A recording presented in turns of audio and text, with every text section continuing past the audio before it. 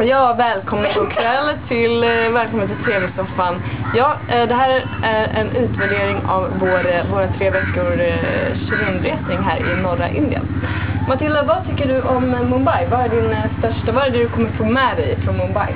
Det var att vi var med i en Bollywoodfilm och jag hoppas att vi kommer att synas på bioduken i april och eh, att vi eh, spelar in den med några riktigt stora kändisar här i Indien. Det tycker jag var coolt. Vad, hur tyckte du det kändes att vara med i en Bolly- Bollywoodfilm? Var det flashigt? Kanske, det var ju inte så flashigt som man kanske kan tro när man hör Bollywood liksom. Fast det låter inte så flashigt, det låter väldigt bredé. Lite B kanske, men jag tror väl inte att man skulle komma in i en loge som var sunkigaste, sunkigaste rummet typ ever i Indien. Eh, bli, få fett i håret och bli sminkad av en eh, sminkös.